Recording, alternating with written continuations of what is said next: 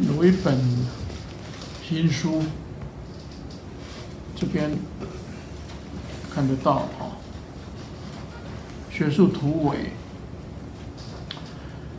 这个书书名是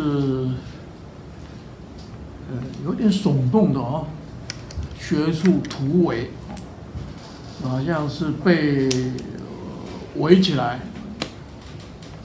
我们要要突破那个围城啊。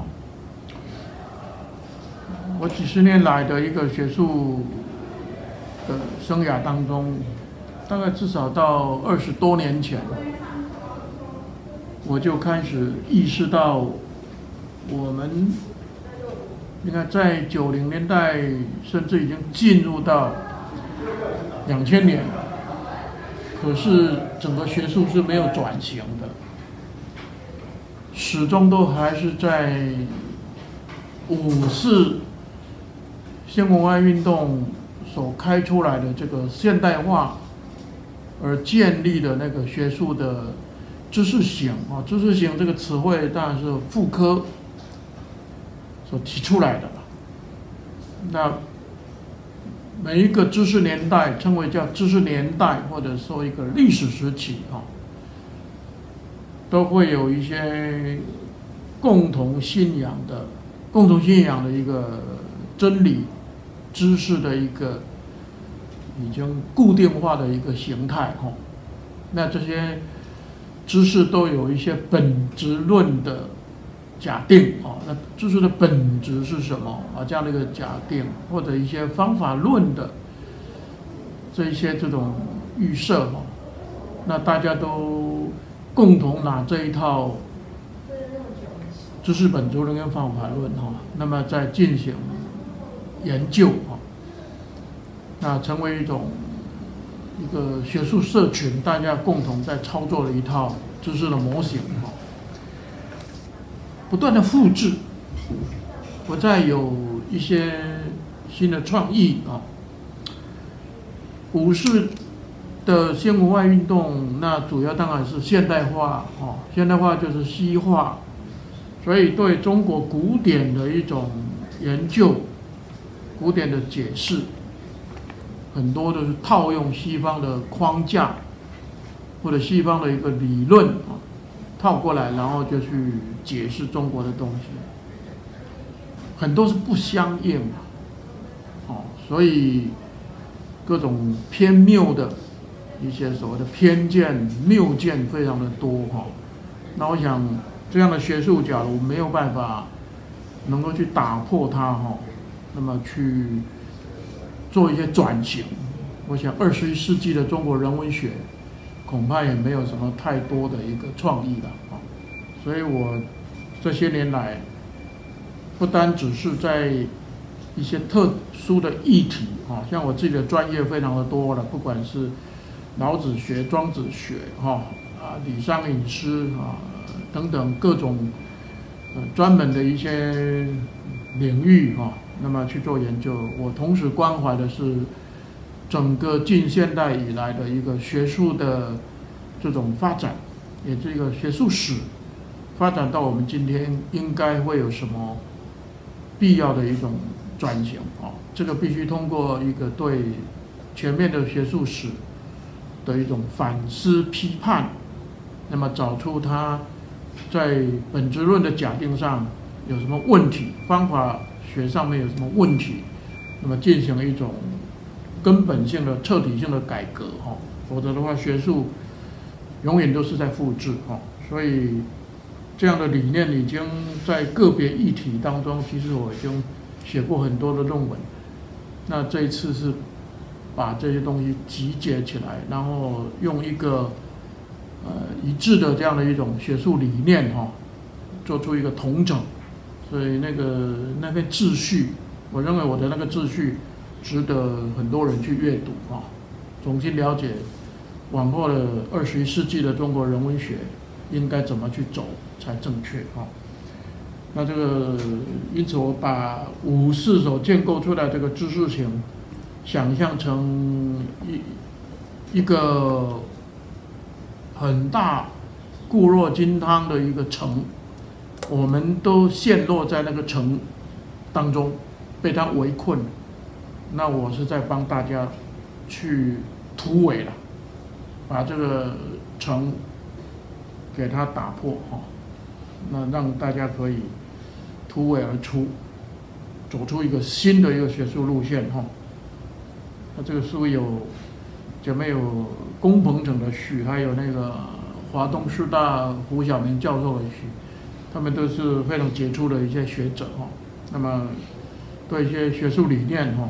都有共同的一些看法啊，那么所以他们写序也是等于一起来呼应这样的一种学术转型的必要哈，啊，各位可以参考一下哈，这这是一个学术啊，呃，这不是商业广告这是一个学术的推展，OK，嗯，我们今天呢继续读贾生这一首诗哈，贾生。上一周我们讲到，可怜夜半虚前席，不问苍生问鬼神。字面的意思，上个礼拜其实解释清楚。可怜怜就是惜啊哈，可怜就是可惜，非常的可惜。怎么可惜呢？汉文帝。召见贾谊，把贾谊从长沙给召回来，想重新去启用他，在宣誓召见贾谊，正好汉文帝才刚刚祭祀鬼神，那么祈求鬼神能够。除灾降福啊，所以呢，他有感于鬼神，有感于鬼神，对这个议题特别有兴趣，就问贾谊有关鬼神的事情，那贾谊就为他做了一些解说。汉文帝听了非常有兴趣，就前席，古代席地而坐。不断的往前挪动，靠近贾谊，就当然表示他听得非常入神，听得非常的有有兴趣。但是为什么是可惜？因为他问的却是鬼神之事，而不是苍生的事。一个帝王所应该关怀的是什么？国计民生嘛，国计民生才是一个帝王应该去关怀的事。那这个事情不去问才子贾谊哦，因为他没有贬到长沙王的太傅之前，汉代汉文帝汉文帝那个时候已经有很多典章制度是由贾谊。那么来制定的，所以他的才调无论呐非常出众，这么样的一个有才能的臣子，总应该好好的重用嘛，在国计民生的问题上多多请教他，可是他不问苍生，问的却是鬼神。鬼神是个虚无的事情了哦。我想，中国古来从殷商的巫术文化，本来也都是对鬼神有相当的信仰。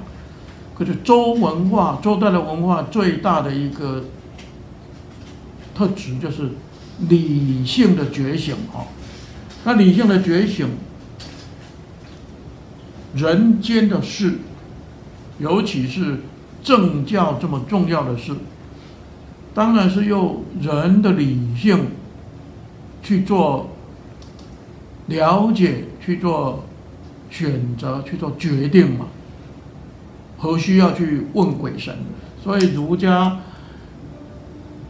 孔子承继周文化的礼乐文化，甚至于做了哲学上的突破。提出礼乐的本质就是人。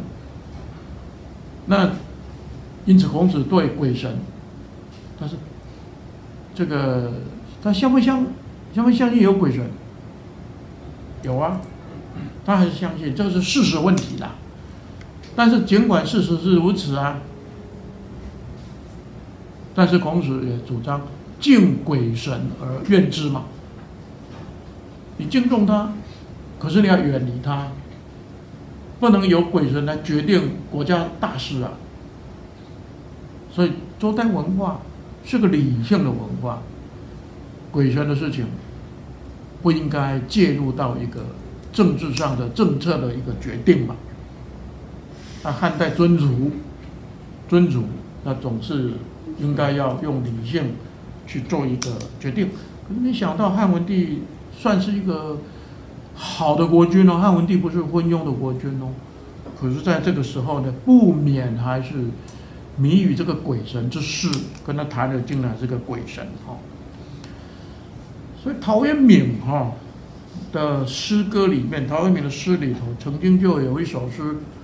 开头两句就很清楚，天道幽且远啊，就天道哪怕不一定是鬼神，就是就是有没有一个天道，有没有一个鲜艳的那个天道，这个都不可知嘛，因为他仙女经验嘛，你根本完全无从去证明嘛，所以你看《论语》里面才会讲。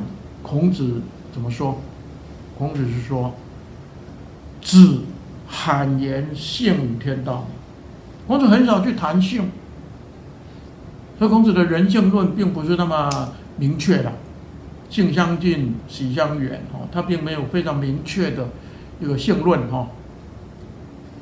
他也不太直接去谈天道，因为天道幽且远呐。根本就非常遥远的，超越我们经验所能认知嘛。那孔子谈的是什么？日用之间啊，日常生活所用的这些道理，啊，叫人伦之道嘛。那这是我们每天生活当中都必须去做的，必须去实践的。那么这当然事关道德嘛。哦，那么这个部分是孔子。会去讲的，因为这是我们做得到的，我们也经验得到的。这天道不用去谈太多。那你怎么知道有天道？那后来当然，孟子也说了：“见人以知天。”你只要把人道、仁德好好去实践，你就会体会到的确有个天道在。就通过对人道的实践，就可以体悟到有天道。所以贴切于这个人间事，当然还是要谈的是苍生问题，不是鬼神问题。所以陶渊明接着就说：“鬼神盲昧然。”哦，陶渊明认为鬼神是一个很盲昧不可知，当然盲昧不可知啊，无从证明。所以鬼神的事情永远都不是科学命题的。无法透过科学去证实、实验证实，的确有鬼，的确有神啊。因此，鬼神是一种信仰问题，信仰是主观的啦，不是科学的客观知识啦。科学即使进步到不要说二十一世纪了，再再过好几个世纪，人类都无法通过科学研究去证明到底有鬼有没有神。所以，这基本上都是一个信仰问题。那信仰的是作为主观的哈。那。这种盲昧的东西，你去相信它，那你切实与现实的我们所谓的现实，是我们所面对的这一个当下的存在，这个时间、这个空间的当下存在的这个社会种种有关人的一种生活或者政教的问题，你就不会认真用理性去思考，你一切交给鬼神去决定，那就糟糕了。哦，所以这个地方。不问苍生问鬼神。假如一个帝王、一个国君所干的事情都是不问苍生问鬼神，那就糟糕了。那你说这里头这句都是在责备汉文帝吗？嗯，不尽然。虽然歌咏的是汉代的贾谊，是个个人；歌咏的是汉代的汉文帝，是个特定的帝王。但是咏史之所以有意义、有价值，都是透过透过对于古代某一些特定的人、特定的事的歌咏。但是最重要的。它要集各书集普遍哦，所以所谓的集各书集普遍哦。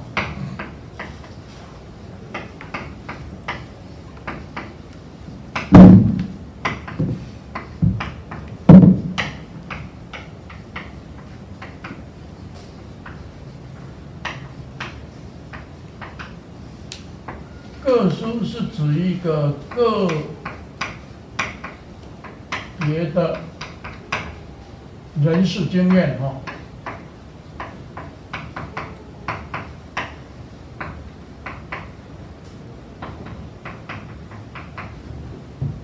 普遍是指一个普遍的意义、价值。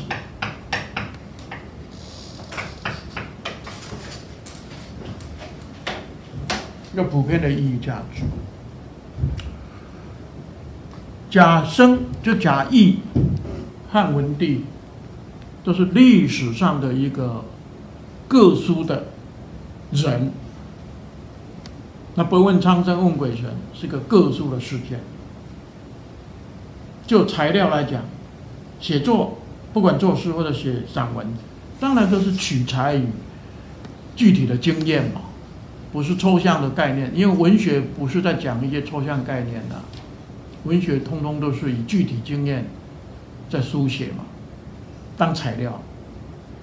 可是一个好的文学作品，假如写的是个各书的人、各书的事，还是停留在各书的人、各书的事，意义没有升华，价值没有往上升华。这个文学作品是不太能够引起共鸣。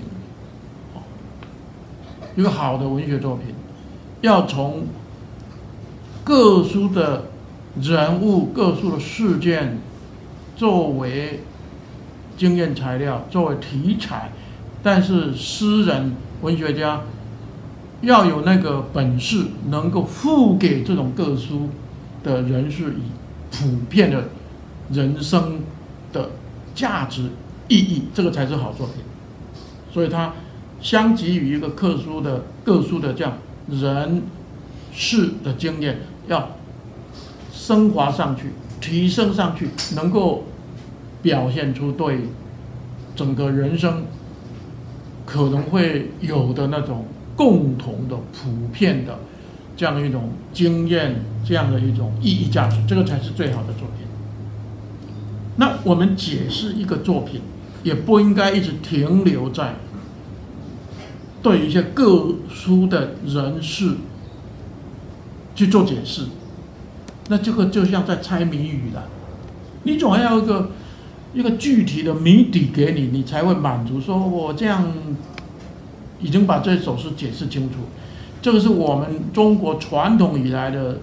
古典式的监视里头，一直长期存在的一个很大的问题，就是作者本意问题。一定要个作者本意。那这个作者本意常常就是要连接到一个特定的人、特定的事去解释。这样的一种解释的形态，假如说不能转变的话，我想很多诗都被糟蹋掉了。我们后面将来会讲。锦瑟那一首诗，锦瑟那一首诗，哇，大家觉得很晦涩。为什么觉得晦涩？因为你总要找到一些特定的人、特是特定的事来解这一首诗啊。而你不找到特定的人、特定的事来解解释那首诗，你就说它晦涩难解，这是一个很大的问题。你应该找一个。诗人明明不想去写出一些特定的人、特定的事，把那个特定的人事都化掉了，它变成什么？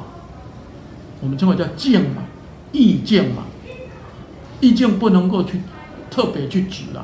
一首诗真正重要是意境嘛，不是人事吧，人事是原来的素材嘛。那诗人用一种原来的素材，把它升华变成一种普遍的意境。读者还不懂得从这个普遍的意境去理解，去发扬它的意义，又把它拉回素材，啊，这个是非常奇怪。蜜蜂用花粉去酿成花蜜，就像作者用素材去写成一首好诗，那你不知道去品尝那个蜜的滋味，你一定要把它还原回到花粉，这搞什么？文学的理解跟诠释不能这样做呀，这样做好诗全部被糟蹋掉。那像李商隐诗，很多基本上诗人是把那个所谓的特定的人、特定的事，就是我们所谓个书，隐藏掉、转化掉、升华成一种普遍的意境。成为含着普遍的意义跟价值，我们不能从这个地方去欣赏，还要还原回到它的原始的所谓的作者本意。这样的解释绝对是歧途了。这种歧途不能一直走，一直走到我们今天二十一世纪都还在这样解释，古典诗的研究没希望。我我就非常严重的警告：，假如我们今天二十一世纪的这些学者们在解释这些古典诗，还是在走着古人这种老路。古典诗研究不可能现代化，不可能当代化，不可能有新意，都在重复古人的说法。啊，甚至于两种说法，因为你会发现作者本意绝对不会只有一个，因为这个这个监视者说这样。那个监视者说那样，甲乙丙丁各种答案都有。那我们现在所做的研究，常常是甲乙丙丁里头经过讨论，啊，最后我们的学者说，啊，以甲那个讲法最正确。啊，那假如是这样，那张尔田说在批判牛党，武中崩上一个星期就已经讲过了。张尔田是把这首诗一样，他只是放在各书的意义上解嘛。特别拿一个特定事件来解啊，唐代的特定事件就是这个这个到牛李党争到唐宣宗的时候用的这个白敏中，所以呢就把被李德裕贬出去的那些牛党的人一一召还，这个就是还是把它还原回到一个材料的那个地方去，哪怕李商隐真的有这个意思，他也被化掉了。被升华掉，被转化掉了。何况你只是猜测啊，事实判断不能用猜测啊，猜测是不对的。冯浩后面的浩曰：“哎，他另外又是一个作者本意的另外一个答案。那请问这两个答案谁对啊？那我们现在很多研究啊，就是在两个答案当中来断定其中哪一个答案是对。”那你自己呢？学者自己呢？学者怎么讲？什么讲法也没有，因为你没有思想啊。你只是在拼凑这些文献史料，做选择题啊。学术研究不能这样做，这样做学术永远没有希望。为什么要学术突围？这个就要学术突围了。哦，那古人喜欢这样做。因为古代不管作者，不管读者，其实都是士人阶层，讲来讲去总是跟政治有关，跟政教有关，好像很多事都要导向那个政治，这个叫意识形态，文化意识形态基本上会变成一种对人的思维的限制了，你大概不再会有一些新的想法出来。我们今天二十一世纪，我们还有这种士人阶层的意识形态吗？没有了。那你现在二十一世纪，已经没有像古代那种所谓的知识分子那种士人，什么事都要扯到政治。一个开放的社会，一个社会阶层已经被解构掉的一个社会，还有什么这样一种知识阶层的？是不能老是沿用这些既有的框架去读中国史的。所以我想，学术如果有创造，就是一个创造。所以虽然取材自古代贾谊，那取材自汉文帝跟贾谊的一席之谈，可是这个事件作为材料，不能永远把这首诗的意义只局限在原来的素材去解释。这里头一定要往上提升到一个比较普遍的意义。这种普遍的意义，我们假如把它稍微做一种共同的普遍经验去看的时候，这里头涉及到中国古代一个很重要的问题，就是君臣的关系，君跟臣。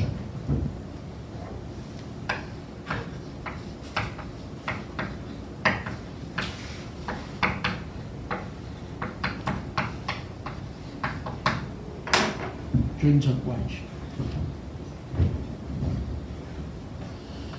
君臣关系不是只有汉文帝跟贾谊两个人，这只是一个案例。历朝历代都有君臣关系，那这个君臣关系很重要，当然一定至少会有两个基本形态嘛，一个。所谓圣君跟贤相，英明的国君跟贤能的臣子，他一定是连在一起的。只有英明的国君才会用人才，而能够有贤能的臣子，相辅相成，国家政治就非常清明。另外一个形态。昏庸之君和喜欢逢迎谄媚的臣子，这个又是挂钩在一起。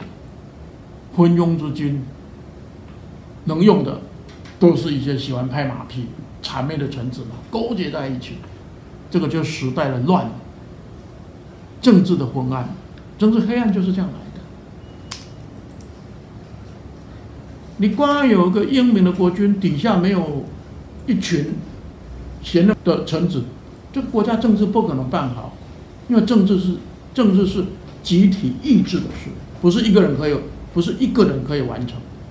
政治永远是公共事务，公共事务就是集体的意志，众志成城去把它完成的事。这君臣的关系，到底是一个贤圣贤的国君和一些很。能力很好的、品德很好的臣子结合在一起呢，还是个昏庸的国君，跟一些谄媚的小小人的群子、臣子，螃蟹遗弃在一起呢？就决定国的国家的治乱了。那很简单的道理啦。李商隐关怀的是这个，他这个才有普遍意义嘛。这样讲，你才有一个普遍的一个意义嘛，而不太。而不还只是在指一个个人的意思，所以这里头你会看到有一个裁掉更无伦的假意嘛？你看多有才干哦，啊，可是有没有一个真正能够知才、有才干的臣子？人才必须要有能够知他用他的国君呐，知才用才的国君。好好能够把这些人才适得其用啊，摆在一个能够让他发挥才能的一个位置上面，否则的话，这个国家就没希望了。所以底下那个汉文帝，整个来讲，他不是一个昏庸的国君，但是在这用假意这件事情上来讲，他的确没有真正好好从头到尾的。一贯的去善用贾谊这个人才，这个叫为德不足啊。用人才为德不足嘛。哦，前面由于吴公河南太守吴公的推荐，启用了贾谊，所以前前阶段贾谊也的确的确对汉文帝有了很大的帮助，可是受不了压力，朝中老臣的压力，受不了一些诸地方诸侯王的压力，一个好人才。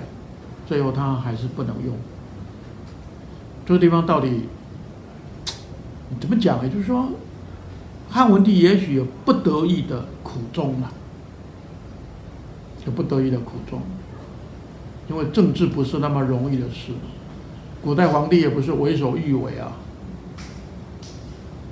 他还是要顾虑到其他的臣子的一个观感，但是无法坚持。用一个好人才，这也表示汉文帝的某种应有的坚持还是没有做到了，哦，所以我们会看到另外一个诗人，唐代另外一个诗人叫刘长卿嘛，哦，这个各位都会熟悉的了，哦，刘长卿，我们唐宋诗曲要前面就有选到刘长卿的一首诗，叫《长沙过贾谊宅》，那一首是典型的怀古了。因为题目就清楚啊，刘长卿被贬到南方去的时候，到长沙，经过贾谊的故宅，那么进去贾谊的故宅，去游览一番，心中自有感慨，哦，所以其中就有一句啊，汉文。有道恩有薄啊！哦，汉文有道恩有薄，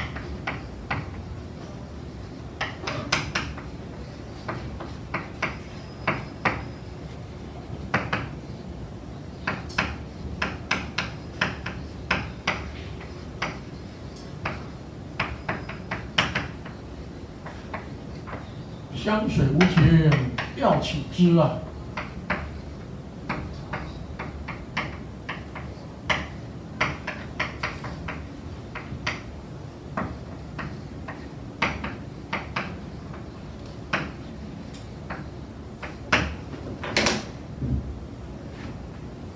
刘长卿，长沙过贾谊宅。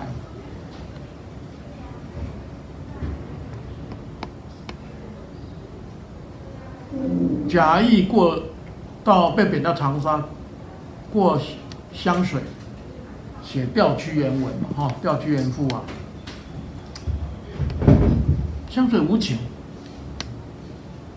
你去祭钓屈原，调请之。能够了解贾谊，你内心的那样一种沮丧，那样的一种悲哀吗？最重要是上面那一句：“汉文有道，恩有薄。”汉文帝是一个有道之君哦，他不是昏君呢，他是有道之君。那这样的一个有道之君，恩。都还是那么薄，对贾谊，对贾谊恩还是那么薄。那那这话就话中有话了，各位体会一下，一个有道之君，为什么还对臣子的恩是那么薄呢？那想必有皇帝的权力之外的某一些压力嘛。就刚才讲过，是有一些这种。朝廷内外的压力啊，不得不把贾谊贬掉，不敢重用贾谊。言外之意，当然也是意味着汉文帝有道的对臣子都薄了。那请问，假如碰到一个无道的昏庸的国君，那恩，那不是更薄吗？话中有话嘛，体会一下呀，对吗？所以，这个君臣之间的关系，哈，的的确确是古代治乱的关键，治乱的关键。李商隐的关心，大概不仅仅只是这些个别事件了，而是整个政治的问题了。我刚才所讲那个整个政治当中的一个君臣关系是怎么样才是一个最好的关系？理想就应该是有圣君贤臣能够愈合在一起哈，所以这里头我们就不免会联想到《昭明文选》里头有一篇哈，叫李萧远，就李康的《运命论》哦。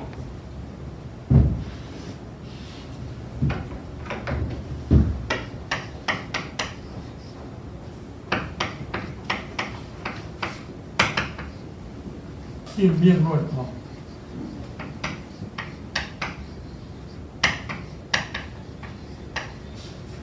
像像这种都是非常非常典范的一种文章了哈，不妨各位去搬出来读读看呢。因为李嘉文就运命在谈一个问题，就是运命这个不单只是个人的命运哦，他讲的不是只是个人的命运。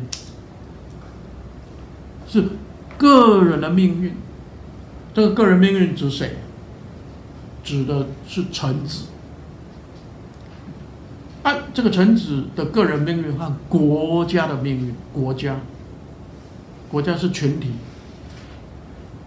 一个臣子是个人，可是国家的整个命运和某一些臣子的命运是一体的。就是我刚才讲过，君臣之间的愈合嘛，君臣之间怎么愈在一起，怎么合在一起？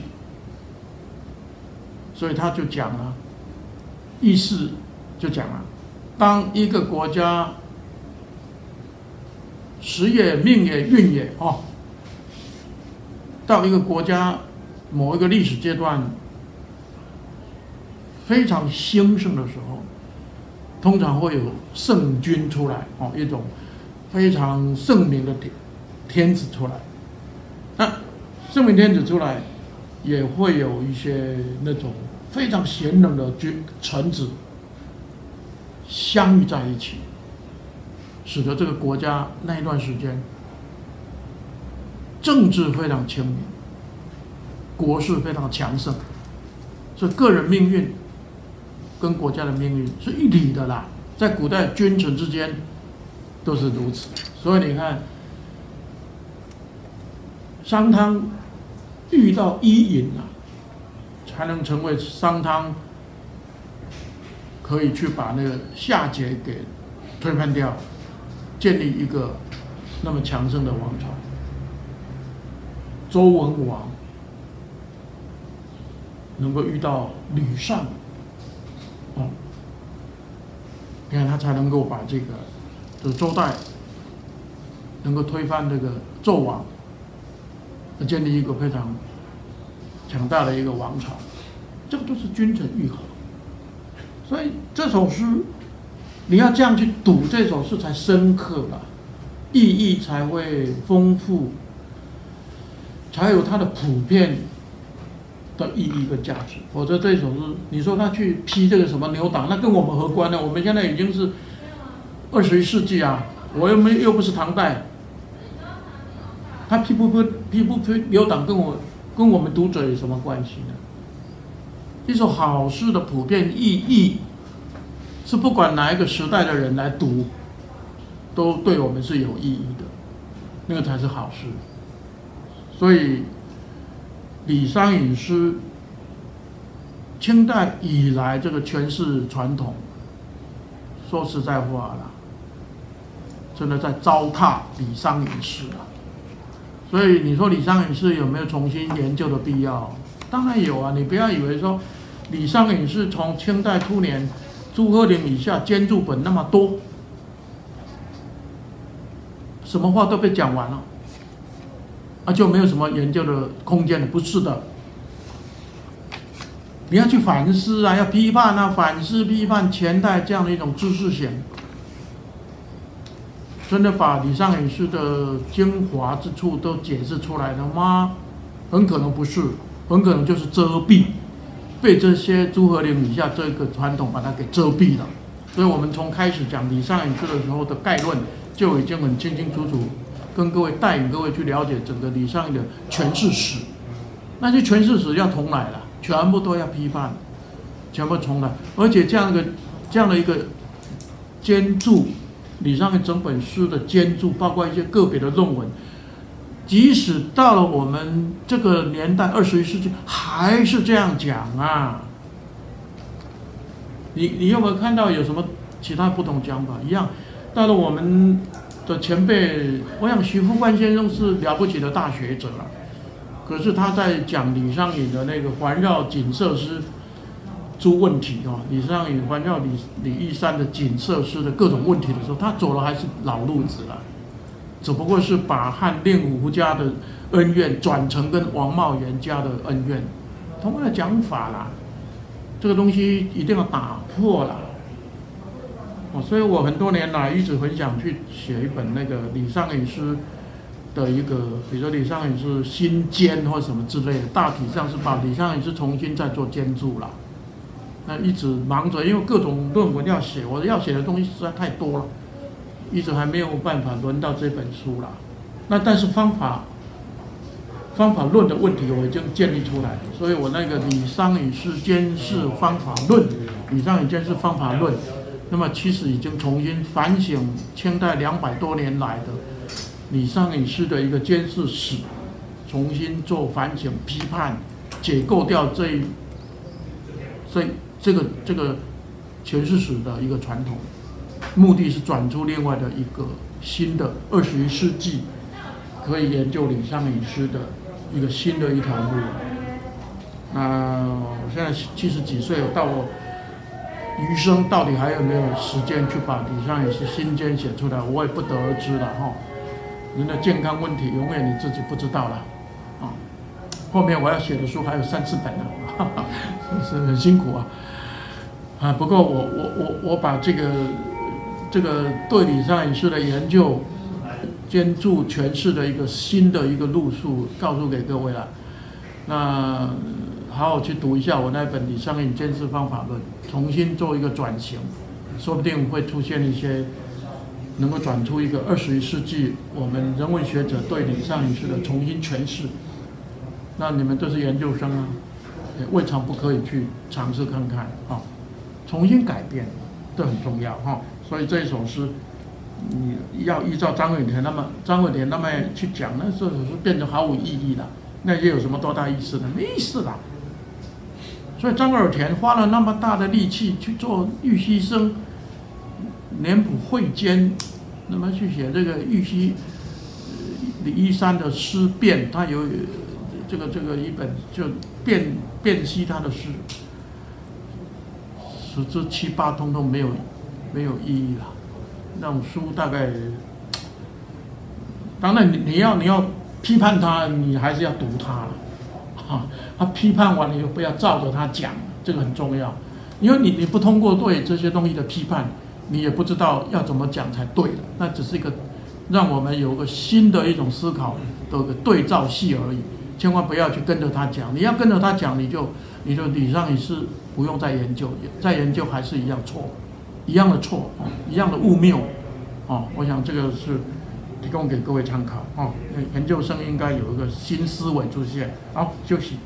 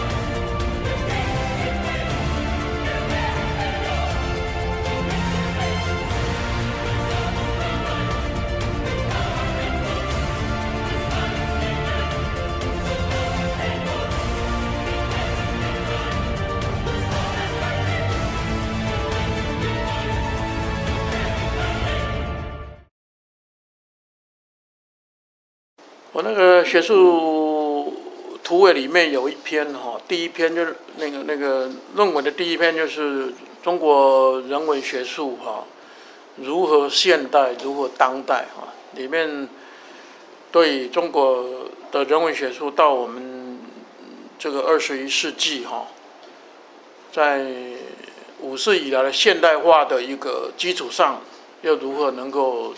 走到当代化，当代化的话就开始会有一些呃区域性的差别了哈，区域性的差别，各个不同的区域，他们的当代的人文学术也应该会有所不同，好，那么这个部分那篇可以读看看就知道，给给出一些比较基本的理念。那比如说我里面会举了一个例子，就是陶渊明诗的一种诠释，过去。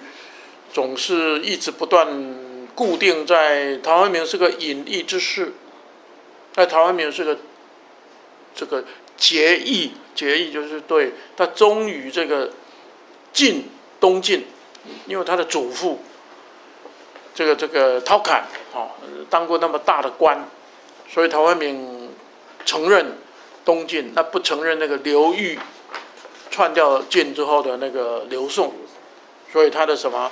呃，是啊，那到了后来就就就刘裕创案以后呢，他就只有记那个干支纪年，他就不称那个呃这个这个呃皇帝的年号，啊，就把它形塑成个呃节义之事，啊，就是这两个基本的一个固定的这样的一种刻板印象。好像陶渊明跟他的诗就是只有这两个面相，这当然有这两个面相，你可以说有了，但是绝对不会只是这两个面相。那古代会把它形塑出隐逸跟节义，这基本上是中国古代知识分子那种士人阶层一直存在的意识形态嘛，就出处进退嘛，呃，不能够出来做官，那就退而独善其身嘛。所以古代的隐逸文化就很重要嘛，哦，呃，所以历正史里头都有隐逸传嘛。那古代又一定会在提倡，呃，忠义，提倡节操。那一个知识分子要忠于王室，这个其实就是一种麻醉剂啦，对那个王王权的麻的这样一种麻醉剂。啊，所以你到最后甚至还要殉国嘞，这明代亡掉。那很多都要殉国，这种都是古代的知识分子的一个文化意识形态。到了二十世纪还有这个吗？没有了。我们二十一世纪还有这一套吗？没有嘛。二十世纪已经没有什么知识分子了啦。高学历不叫不不一定就是知识分子好吗？我们现在知识分子必须有重新定义了，不是说高学历就叫知识分子。因为知识知识分子是至于道，古代的知识分子，所谓是，在儒家来看就是要至于道，你没有道，你也也也不能叫做是啊。可是我们今天这个时代，百行百业非常的自由，不需要这些东西。那因此，我们现代人的脑袋里，我们的心灵里头，其实已经没有这种文化的意识形态。当代。我们当代一个读者是怎么样看世界？是怎么样看人的存在意义？大概已已经很少人会用隐逸去看待嘛？用什么忠义去看待嘛？不会啦，我们通通回到常人嘛。我们只是一般的常人，常人就是作为一个基本的一种自然人，我们所面对的生活里头各种喜怒哀乐哈，回到常人。所以我重新用现代的二十一世纪，我们读者都是常人，所以我提出一个非常重要的观念，叫常人意识啊，就是我们都是常人。你你说哪一个不是常人？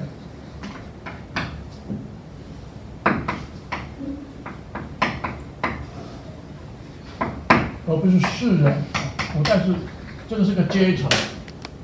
回到我们大家都是常人，总统是不是常人？总统当然是常人了。他拿掉总统那个身份地位，回到家里，他是不是人家的女儿？是啊。那是不是人家的儿子？是啊。是不是人家的兄弟姐妹？是啊。那是常人啊。他会不会生病？他会啊。他会不会有时候情绪不好？会啊。他会不会忧虑？不会啊。他会不会因为吃到一点好吃的东西感到很高兴啊？会啊。这个就是常人。这些东西能不能写到文章里面去？可以啊。能不能写一首诗？可以啊。其实陶渊明的诗里头很多表现常人意识，杜甫的诗里头好多好多，也都是在表现这种常人意识。我们老是把杜甫说成一个，呃，忠君爱国啊，就是形塑成这样一个刻板印象。杜甫的很多诗其实写的就是一般日常生活。尤其他在成都的那段时间，根本很多都在写日常生活。老妻画纸为棋局啊，稚子敲针做钓钩啊！你看，多么样的日常生活啊！那难道这种事没价值吗？当然有价值啊！怎么会没价值呢？所以我们把一个人整体的人片面化，切成一片一片一片。那现在古代就剪了两片来讲，那其他的片呢就被忽略了，就不见了。那我们今天作为当代的学者，我们活在现代，以我们的生活经验，我们所建立出来那个主体，读者本身就是一个主体性，这样的一个主体性。有没有一个当代的主体性？这个当代的主体性，假如无法建立出来，我们对古典的阅读永远都不会有一个当代化的所谓的当代化、具有当代性的一种诠释。所以学术要回到你自己了，学术永远要回到读者自己、研究者自己、学者自己。你是活在当代，你必须有当代的这样一种生活的体验。建立一个当代主体，从这个当代主体去看看被你研究那个对象有没有和你一样的那种意识。比如说，我们有常人意识，陶渊明有没有常人意识？有。他除了那个世人阶层意识，他还是有常人意识，只是古代被埋没掉。我们重新发现，杜甫有没有常人意识？有。李白有没有常人意识？有。苏东坡有没有常人意识？当然有，古代的每一个诗人都有常人意识，但是这个部分被被掩盖，被世人意识掩盖，不是隐退隐啊，就是进取，都跟政治有关，都是这样在看古人。那他日常生活那个常人永远被掩盖掉。那假如一旦他有有些写到。常人的生活经验的时候啊，比如说男女之情是不是常人意识？食色性也啊，男女之情就是我们任何人都会有啊，那只是古代很避讳这个东西啊。那表现这种常人意识最多的是是什么？词啊曲啊，小说啊，这些被视为比较。次流的不是主流，不是庙堂文学的这种文体词，那词你看写了多少男女之情的作品啊，多得很。因为它本来就是一个比较庶民性的文体嘛，它起起源的时候就本来就是流行歌曲嘛，就这个庶民的东西啊，元曲也是啊，小说那更是了。所以小说里面的常人意识，都表现的这些作品怎么样啊？被要么就被贬，你只要写到这个你就被骂，呀，这个都是非常俗不可耐啊，教坏子弟啊，会淫会道。你到了梁启超，他们都还是这样讲。梁启超那个时代，提倡新小说，都还是把这些这种《水浒传》啊，这个这个。什么这种《金瓶梅》啊，这是会淫会道嘛？会淫会道，那当然就是就是贬低嘛，责骂嘛，好像羞于谈这些事情。坦白讲，哎，梁启超是不是常人？我当然常人了。你难道梁启超没有食色吗？我就不相信他没有食色。他要吃好吃的啊，他很欣赏美女啊。只是你们愉悦有没有愉悦道德，只是这样而已嘛。不要把这些文人神圣化了，哪一个文人不是普通人呐？呃，不要来这一套，这个都是虚假，虚假。所以，怎么样回到一个真实的这样的一个人的存在，这是我们二十一世纪做古典研究很重要的一个思维的转型。是如此，所以这些比较具有庶民性的，包括很多俗文学的，啊，那你不是把它贬低、责备，那就是搞什么呢？搞一个比兴寄托嘛，啊，比兴寄托，男女之情通与君臣之义嘛，啊，解释礼上也不是这样解吗？你看他的无题诗，他明明写的是男女爱情啊，他为什么一定要把它转成变成这个这个？不管是君臣之义，对国家的奉御，或者对跟令狐家的恩怨是非，全部都转到政治上去，变成比兴寄托啊！在古代这些知识分子的读者们，我们可以回到一个历史情境，做同情理解，同情理解他们为什么会这样去阅读诗。这样的去解释这些诗，可以同情理解，同情理解，只是因为我们回到他的处境，了解他们会这样的去思考问题，但不表示我们时移世改，今天已经二十一世纪，我们还得去同同同意他们这样讲啊，这是两回事啊，同情跟同意是两回事啊，同意是表示你认为他讲的是对啊。所以，我们到今天二十一世纪，我们有什么新的这样的一种人的存在经验？有什么新的价值观？重新去解读古典。啊，当然你不能说啊，我我我我这些新的一种价值观，新的一个古的这样一种种种体验都是对的，因为这就会变成绝对主观主义了。因为这样的一种现在。当代的一种人生的存在经验是要有，因为这个地方才有个主体性出来，读者学者才有他的主体性出来。但是这样那个主体性的体验，请问你研究对象的文本有没有？你还要进行一个诠释吗？有没有？可可能有，可能没有。那有的话，那它就是被掩盖掉或者被忽略掉。有意的这个部分的作品不解释，不理他，或者解释时我刚才讲过，不是贬谪，就是用比兴寄托去解释，它是存在的，它只是被掩盖掉、被排挤掉。我们从排斥掉了，重新找回来；掩盖掉了，重新把那个掩盖的东西拿掉，它的真实的面目就出现了。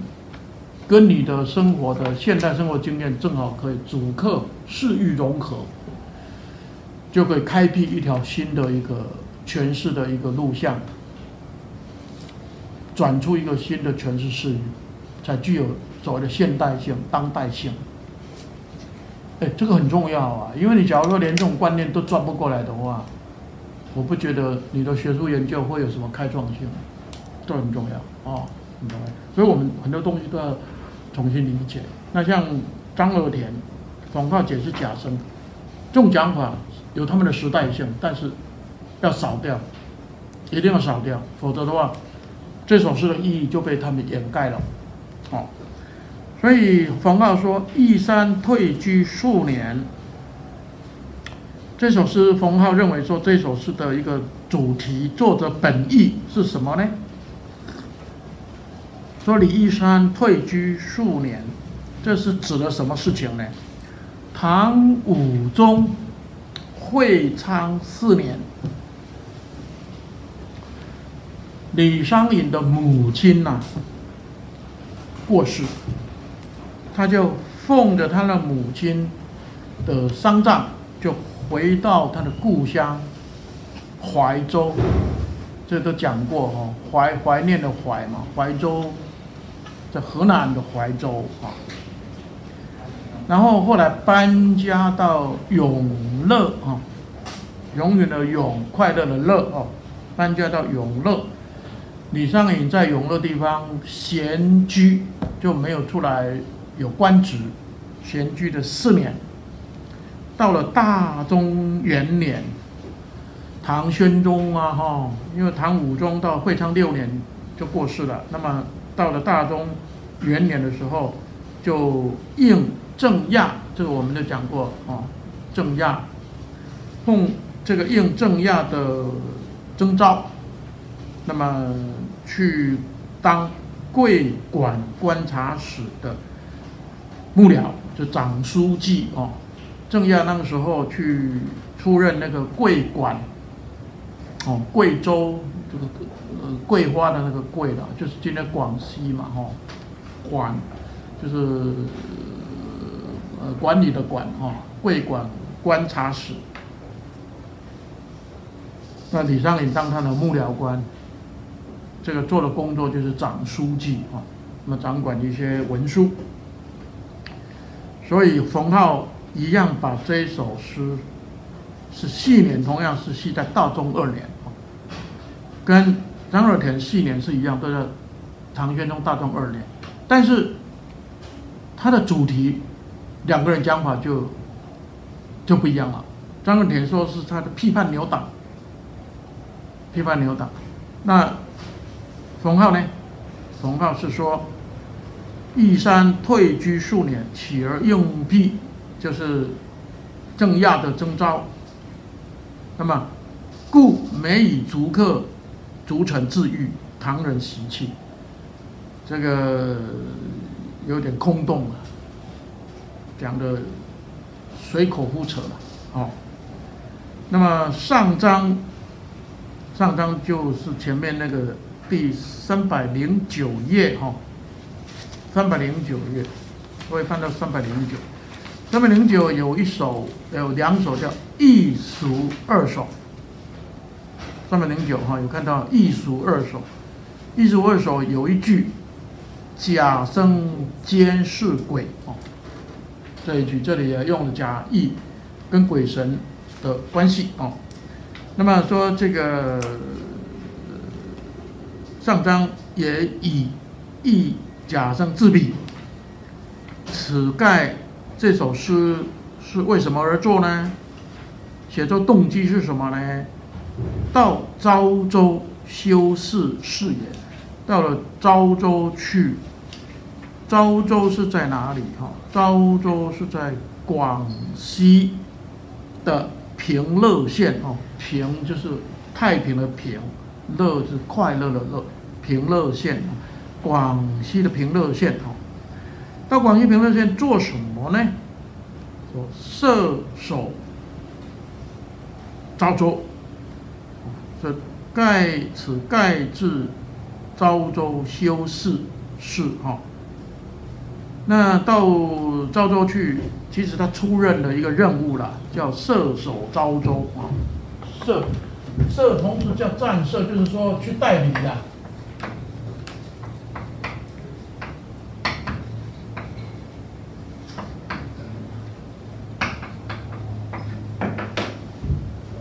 在摄政大臣，摄通常就是就是不是正式的了哈，是有点代理性质的哈。这射手这个赵州守当然是当太守。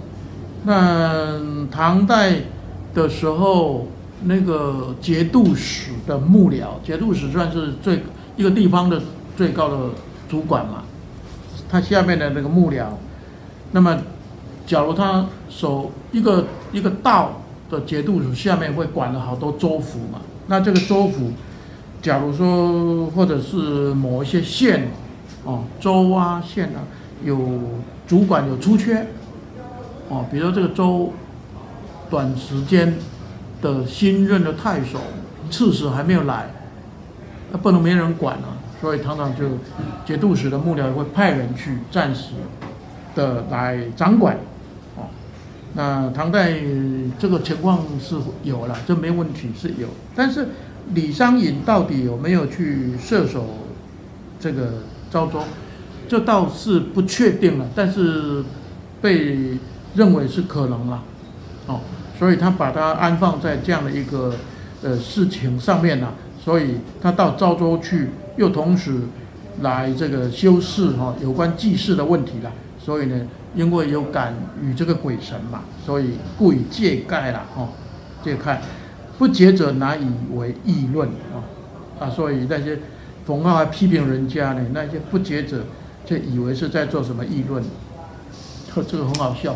他自己不解，啊，说人家不解，这个是是是是非常好玩的事情。那其实他就是不解了，冯浩是不解，所以才会把这事情一定要附会到跟李商隐的这个事情有关系的。其实你说他当做一个咏史诗，在做这样一种君臣关系的议论，对不对？反而是正确的嘛，人家的解释没有错。你说是在讲贾生怀才不遇，都还比他这个。说的更正正确啊，所以，哎，解释其实不是那么容易的事了。但我觉得说，有关李商隐的诠释史里边，呃，你以这个文献史料用功的程度，花的一个力气最大的就是冯浩、张尔田，啊，效果最差的就是这两家。那你可见，解释不是容易的事。解释假如没有体会，而光只是靠文献史料在堆砌，在做考证，保证那个诗绝对读不好。因为这两个人通通都是靠文献史料的考证在解诗的，而对诗的本身反而缺乏一个体会，没有体会。他光靠这些考证，不能解释。所以读诗那个主体很重要，那主体有没有一种体验解悟能力？有时候比历史考证还要重要。历史考证是一种辅助啦，它不能替代我们对一首诗的一种体会啦。那在做主观体会的时候，可以有一些历史参证是可以的，作为一个参考，做个参考。可以，那你不能把那个外面的历史考证的事情塞到一首诗里面来，这个叫穿着嘛，这个就变成穿着，解释最好就不要这么穿着，啊，这个我想这个通过一首诗，我还是给各位讲了一些有关一首诗诠释的一些很重要的方法论的问题哦，这个地方讲听得懂，对你应该会有很大的启发。好，接着我们来读他的一首这个《丑比翼》哦。投比喻，这首诗就比较没有那么多这种作者本意的争论，是因为这首咏史是比较看起来比较正统的咏史，正统的咏史就是说，的确会在。一个历史事件当中，直复复就是说不用笔性，因为用笔性就言外之多，就有时候就会争论嘛，哈。但是直接的在史事上面下议论，哦，那么这个通常就会比较接近我们史传里面，哈，二十五史传当中啊，史传当中把这个人的传记写完以后，史官通常会来一个史臣曰，哈。啊，从《史记》开始就《太史公约》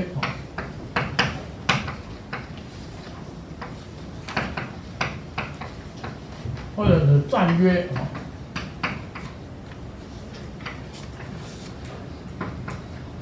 或者《史臣约》，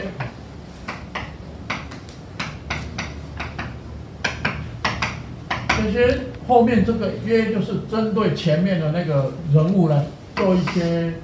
史评，哦，或者史论，哦，进行评论，这个地方会表现出一个史家，这个史家的史事啊，的史事。前面把他的一个生平做叙述，最后史臣。那像司马迁修《史记》的时候，基本上还没有那么，因为他史官嘛，那史官本身就有这个责任，可以修史，可以修这个史。哎，你知道，中国古代不能够，诗人不能够随便修国史哦，国史的这种撰写。是国家的权利，私人不能随便做，因为古代对历史非常重视。你你自己写一本国史，你可以是野史啊，啊，私人的一些传说技术，这个都可以，但是你不能摆着一副是代表国家政府去写一本史书，那你就犯罪了，你就犯罪了啊！因为修史是国家的。官方的权利，因为每一个帝王、臣子的历史定位，全部通过国史在进行，所以二十五史是官修的。那因为太史公司马迁他具有史官的一种职务，所以他当然可以去写，但是他这个写《史记》的时候，事实上有点半私人的状态。他他身份是可以写国史，但是他不是奉皇帝之命去修史的，还是他自己以他史官的这个职务的关系去写个史记，所以我们后人也会觉得他把那个汉代皇帝，比如说汉武帝啊，很多地方会写的可能不是那么符合汉武帝自己教汉武帝自己的个人意见，就武帝本纪不是这样写。他不会把那些糗事都写出来啊，所以还还还被认为说司马迁写这个史记是谤书，毁谤的谤，谤书，这当然有点过分了。那到了汉颁布汉书，汉书就是很正式的官修，哦，后面大概几乎都官修了。那个官修的史书就代表国家立场，所以你知道后面那个那个史臣约啊，那就是。国家政府立场不能史官个人的一种好恶的意见，尽量避免，否则的话，你这个地方可能会惹出一些犯罪出来，一些灾祸出来。所以代表国家的官方立场，所以所以这个地方史评史论是很重要，好。那不能乱约哦，约要约的符合朝廷的一种一种立场跟观点，嗯，所以所以这个部分稍微要了解一下哦。那这里也会看到一个史官的事，因为历历史不是历史不是只有把事件叙述出来，叙事本身就会含着某一些评价，这本来就为了春秋。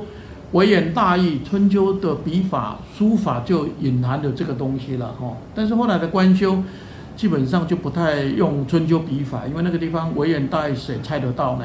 所以都还是前面是叙事了，前面远远不会把一些符合历史的一些事件给叙述出来。那所谓的历史的第二个第二序，第一序是描述叙事，第二序。就是诠释、评价。那你看这个史论、史评，就是诠释、评价，对这个人、对这些事件加以诠释、加以评价。那这个是史书上面的东西。诗歌里头有没有呢？有啊。咏史本身当然不是一个正式的史书，但是拿一个历史的人、历史的事件来做一个歌咏。这里面当然会有诗人的史论，会有诗人的史事在那里面了。哦，那像这一首诗，基本上也就是李商隐去对诸葛亮这个重要的人物给出一些评论。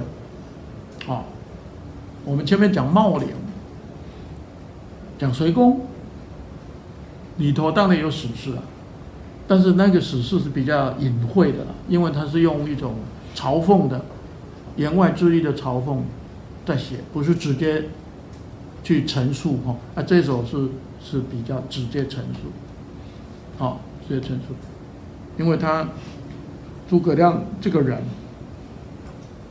不需要嘲讽。为什么需要嘲讽？因为那个人有负面才嘲嘲讽啊，正面就不用嘲讽了。负面的东西就要嘲讽。汉武帝有他的负面，好财好色，好享受，好神仙啊，这个要这个是负面。所以隋炀帝那更不用讲，负面太多了。所以次恶特别需要比兴嘲讽。啊，正面的，一般的颂美，颂美就不需要做太多的一种拐弯抹角，所以这首诗我们来读哈。哎，你会看到从命题开始还是一个怀古的命题。李商隐的诗里头，你会已经发现有一个模式哈，他常会用一种怀古的题目来做一个咏史的一个书写哈，这是他常见的模式，一样，但是只是这一首诗跟前面的差别。是他这一首诗咏史的时候，他还是一个直陈其事哈，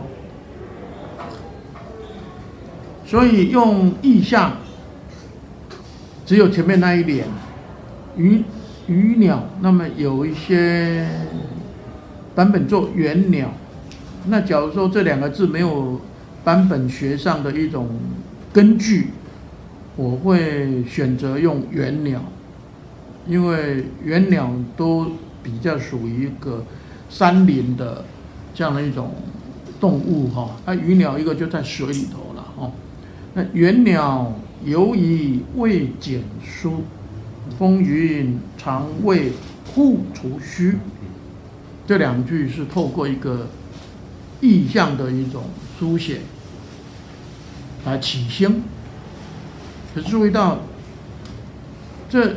两句即使用个意象，也不见得是眼前景。眼前景就是眼前的实景，还是一个想象、虚构的意象。就如同“只劝宫殿所烟霞，欲取吴城作帝家”哦，也不见得是眼前景哦。那一样都是一个想象、虚构的意象哦。图令上将挥神笔啊，中间降王走转居。那这两句就开始就是直接下议论了哈，直接下议论。管乐有才真不甜啊，关张无命欲何如？这两句一样直接下议论。他连锦鲤经此妙，两府银城恨有余。这个地方就抒情了哈。我前面。写景象，中间两联做议论，最后结尾的时候做个抒情，这整首诗，哦，就如此。那这这种诗能够细联吗？因为有一个明确的地名，做比喻。那当然可以根据李商隐的游踪啊，他的游历的一个过程，的确可以大约找到一个细年。可是事实上会有一点困难，是因为李商隐经过筹笔驿，不是只有一次，有三次啊。李商隐经过筹笔驿应该有三次，第一次。是大中二年，唐宣宗大中二年，这一年就是李商隐已经这个从那个桂馆观察使，刚才我们讲那首诗的时候，他是在桂馆观察使，冯浩认为是在桂馆观察使的哈的幕僚长书记，到当一年郑亚就就已经这个被被呃几乎是贬官了哈，那么离开了那个。桂馆观察使就散幕了，那李尚也就他的工作也就结束了，那就要回到长安。那么在中途的时候，曾经顺道去游蜀地，哈，去游四川蜀地，这是一次，哈。第二次是大中五年呐，大中五年这一年，他接受这个柳仲颖的征召，那么到这个四川去，因为柳仲颖担任那个东川节度使，哦，那来。替这个征地这个李商隐为他的幕僚啊，所以大中五年的冬天赴东川的李柳仲颖的墓的时候，可能会经过哦，这是第二次。第三次是大中十年，李商隐在这个东川这个地方一直待到大中十年回京的时候啊。那么这个可能会会会有经过这个地方哈，所以张尔田把它系在是大中五年。那为什么他不系大中十年回京可能会路过这个仇比翼？那为什么张尔田不把它放在大中十年？三次，他为什么会选？大中五年，这一年，这关系到他最后那一句的解释：他年锦里京祠庙，梁府银城恨有余啊。因为张尔田把他年解释为往年，解释为往年，那。往年就是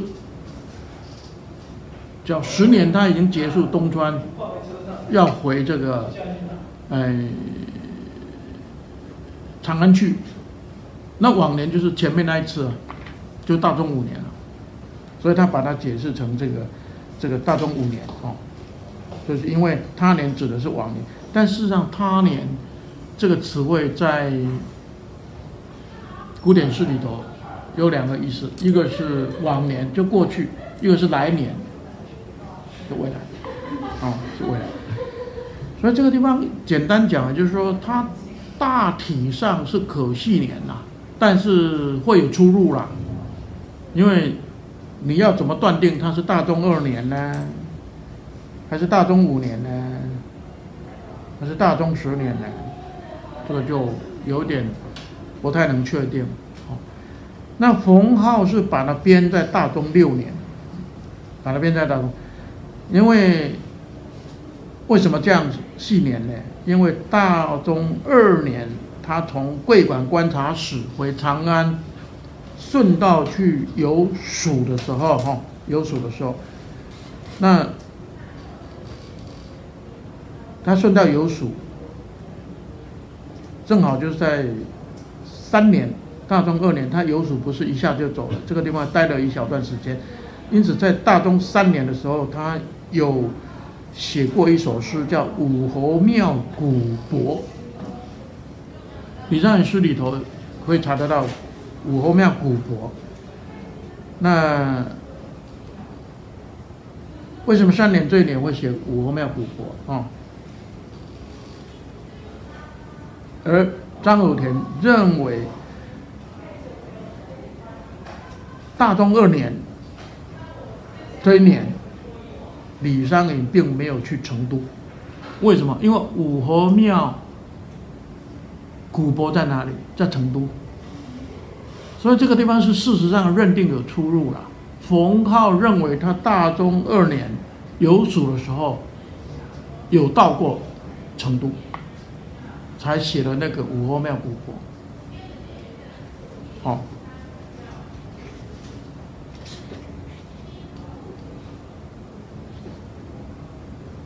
这是他的认定。那张二田认为说，大中二年他没有到成都去，为什么？因为成都是西川还是东川？四川分成东川跟西川的两个道。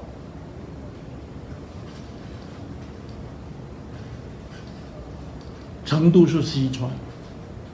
那李商隐应柳宗元去征召，是在东川，是在东川，没有到西川。那李商隐到西川，是因为在大中五年这一年，他担任柳仲颖的幕僚官的时候，曾经奉命到西川出任务，到西川出任务，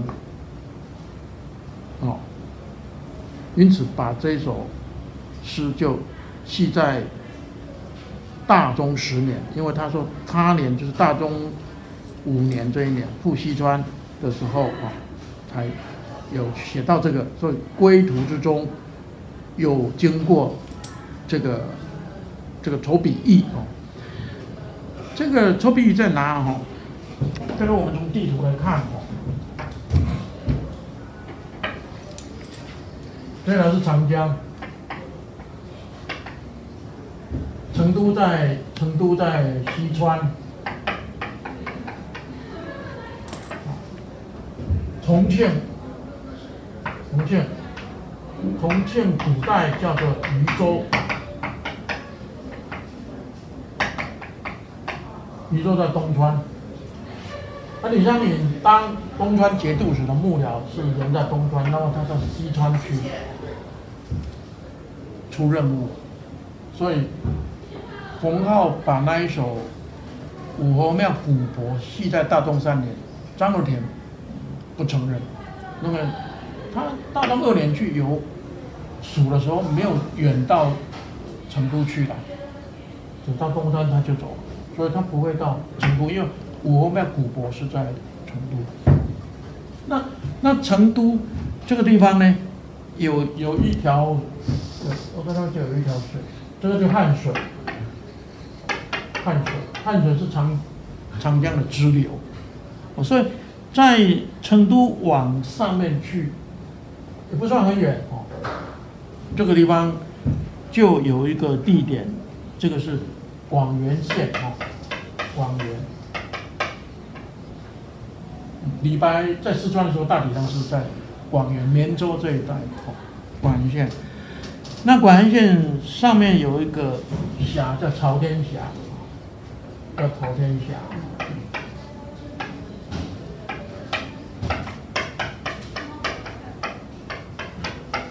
那朝天峡的上面一点点，就有一个叫神轩驿。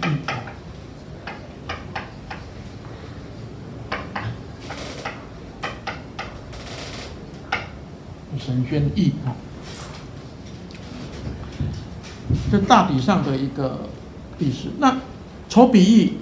就是在这个地方，就广元朝天峡这一带。所以我们第一个注解哈，第一个就一统制哈，一统制。这个一统制是应该指的是，因为因为明元代也有一统制，明代也有一统制，清代有一统制。那呃元代一统制已经善意了，看不到了哦。那我们今天至少还有明一统制，这地方可能指的是，因为他讲一统制没有标门是清代还是？明代，那明代一统制，清代的一统制，就是乾隆时代哈，那个和珅呐奉命去修撰的，因为这个是国家的一个很重要的一个一个疆域的的一种一种记载的书哈，所以说保宁府广元县，我刚才讲这个北面八十里的地方有个筹笔驿，我刚才画的那个广元县，各位就知道它北方一点点哈。那么，蜀相诸葛亮出师的时候，曾经驻扎在这个地方。唐代李义山诗云：“哦，就是上面这一首抽笔驿的歌咏哈，全蜀艺文志里面就利州碑墓，就有李义山碑在筹笔驿，因兵火不存，已经被毁掉哈。那按现在根据王阮。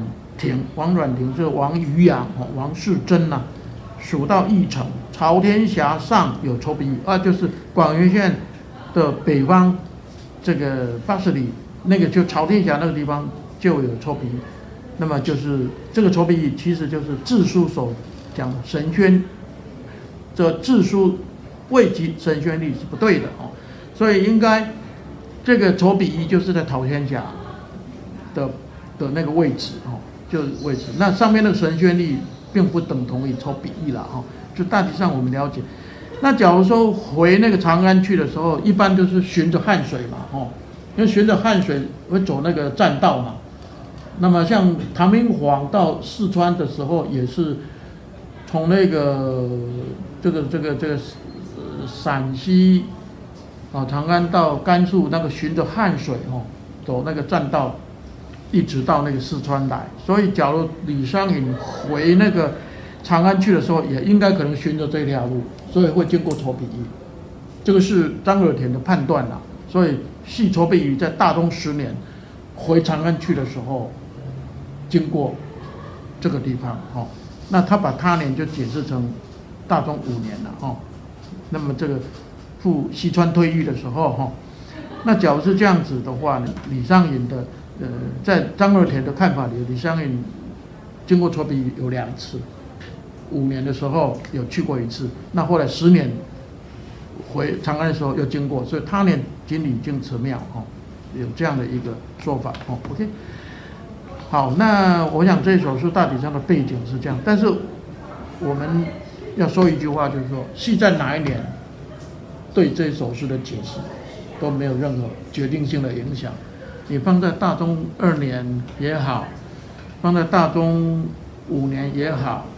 放在大中十年也好，这个时间对一首怀古咏史这首诗的本身的意义都不太有决定性的一个影响，所以系年的意义不大啊。我只是把这样的一个他们的系年稍微给各位介绍一下，介绍完了以后，你可以把它忘掉，忘掉以后，我们就直接来读这首诗。啊，我只是告诉各位，解一首诗，有一些细念是必要的，因为不细念，那首诗里头有些意义无法解释。像杜甫很多诗，你不细念，那的确是有些地方费解，解不清楚。那有些诗不必细念，因为坐在哪一年跟他写说这首诗本身，这首诗本身的意义不相干，那就可以不必细念。所以是要细念不细念，都要问一个基本问题：对这一首诗的诠释，细念是不是一个必要？那是不是真的可细念？这首诗真的可以细念？事实上可以细念，那细念又是会影响到我们对一首诗的解释，你就要做细念。那假如说这一首诗不可细年，没有确定的一个答案。然后不细年也不影响我们对这首的解释，那就不细年。因此做研究要细年不要细年，不要泛滥了，一概而论。那这个为诗文细年，我觉得发展到清代一直到现代，腐烂不堪了，腐烂不堪。我看很多诗集的监注，那个细年都是腐烂不堪。所以你知道，光是李商隐诗的这个系年，从朱鹤龄发展到冯骥，系年是增加多少倍啊？朱鹤龄还是很保守，有些是无法系年，他还是不系的，这是正确的态度了。到冯骥系年已经，你看他三卷里头有两卷是系年，已经有三分之二了，四百多首了，都已经是腐烂到不堪的地步了。冯朱鹤龄都还好。几十首，他他他明确可以信任，他才信任。那地方因此，我们今天对做一个诗集的监注研究，是否必须细年，千万不要被以前前人这种诗文细年的一个做法被框死了。你要跟着什么都要去细年，这个不对，这个问题要重新反省。就以我刚才那个原则去下判断，明确有文献根据可信，同时细了年，才对这首诗的解释有相当关键性的影响，这个就要细。这不是说细年一定不能做，而是说你做的恰不恰当。那假如说一首诗没有文献根据，无法系联，你干嘛勉强呢？啊，冯浩的问题就在他用以义逆志去做知人论事，啊，明明不可系联，他也勉强系联，就是他这个监注本里头最严重的问题，非常严重。所以像这种东西，你们在说读前人的一种这些东西的时候，这要有一个思考了哈，不要说他讲了你都相信了。不可信念，乱信念就不对了，啊，所以不可信念，然后不信念对这首诗的解释也没有任何影响，那真的不要信念。比如说我们前面讲过那永禅那一首诗，那信什么念？那种永物是有什么好信念？根本没有什么任何历史的一个判断的元素在那里面，没有啊，毫无根据。那还会来一个细味此诗，当在诗时荒唐。仔细的品味这首诗，应该写在这一年。这这哪里是一个？所以后他被后人骂也是有道理的。所以像李慈铭《月满堂日记》就认为他用功太多，用功用了很多，可是效果不好，事倍功半，花了那么大力气监监督一本诗集，搞成那个样子，没有意义。所以这个地方做学问要懂得某种弹性方法。很重要啊！这个，所以讲一首诗，我不单只是讲这一首诗，还同时提示各位一些研究的方法问题的。希望对你们有启发啊！好，今天讲到此地，谢谢老师。